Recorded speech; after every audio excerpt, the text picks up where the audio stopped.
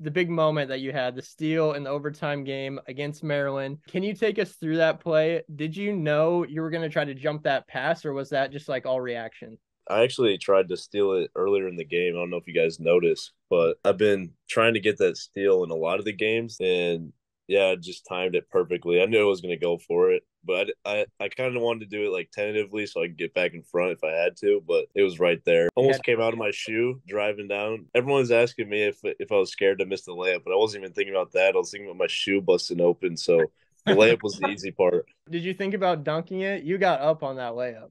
Didn't even cross my mind.